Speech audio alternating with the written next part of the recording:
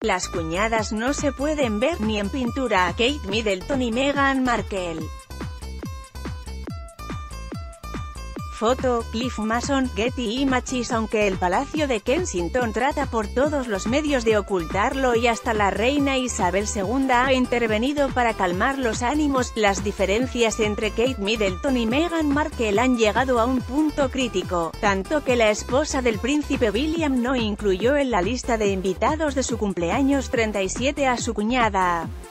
Los tabloides británicos han dado cuenta de que la duquesa de Cambridge dejó fuera de la celebración a la exactriz de La cita fue en casa de la gran amiga de Kate Anne Hall en Sandringham, pero Meghan brilló por su ausencia. A pesar de lo espacioso del lugar donde se llevó a cabo el festejo, Kate no tuvo la deferencia de invitar a la esposa de Harry, acrecentando los rumores de que no se pueden ver ni en pintura. Gente cercana a la familia real ha informado a The que las diferencias entre ambas son profundas y pasan incluso por su concepción del matrimonio, pues mientras Kate fue educada de manera conservadora en colegios para mujeres, Meghan es una activa promotora del feminismo.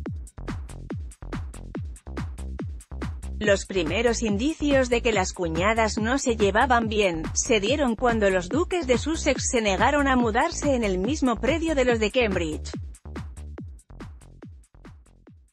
Después de eso se ha venido encima de la familia real una ola de revelaciones que incluyen pleitos y lágrimas en eventos públicos.